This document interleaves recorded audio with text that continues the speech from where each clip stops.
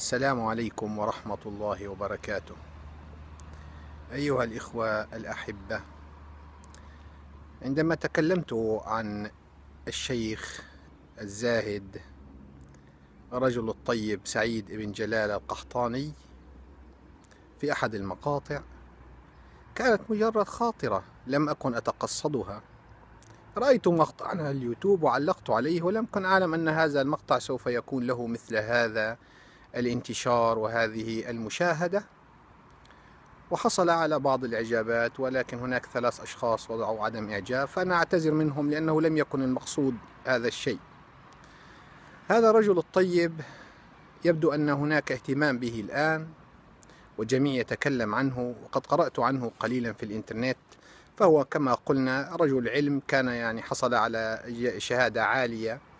لا أدري هل هي في علم المحيطات كما تقول إحدى الصفحات أم هي في الفيزياء النووية. ثم عاد ترك دراسته من أجل والده بعد قصة معينة واعتنى بوالده ثم عمل في المجال العسكري ثم استقال آه، منه ليتابع العمل في العقارات والتجارة في وله يعني كما يقولون في منطقة خميس مشيط في السعودية له هناك.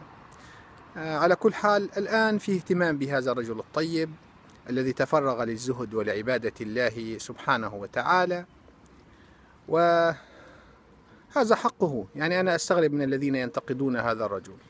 هناك الكثير من أصحاب الأعمال والمليارديرات الذين تركوا هذه الأموال وبعضهم كما تذكرون قصة الرجل الذي باع الفراري وذهب وأصبح راهبا بوذيا وآخر أصبح يعني هناك كثير من كثير من الأديان وهذا ليس شيء بالغريب يعني. الإنسان أحيانا يمل من هذه الحياة الدنيا ومن أعبائها يريد أن يتفرغ هذا حرية له. دعوه وشأنه هذا الرجل الطيب هذا الرجل ذو الكلام الحبيب ذو الوجه البشوش. يعني أقل ما يمكن أنه يسر الناس بكلامه أنا شاهدت مقطعا جديدا له يجلس الناس وحديثه الممتع والشيق. يعني الناس يرون فيه كثيرا من الأمل فدعوه يعني لشأنه ولا تكونوا يعني عقبة عليه أبدا.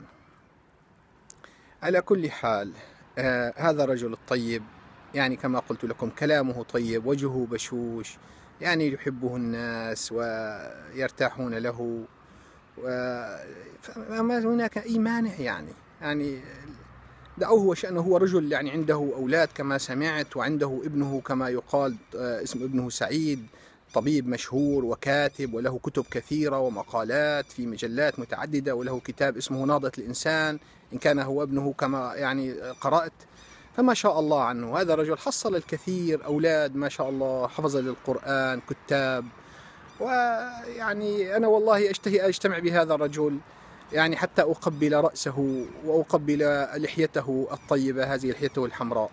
من هنا من ستوكهولم أنا أحيي هذا الرجل الطيب وأحيي كل من أحبه وأحيي كل من تابعه وأتمنى كما قلت يعني أن نستمع أكثر من كلامه الطيب كلامه الذي يذكرنا بالله سبحانه وتعالى وبالآخرة.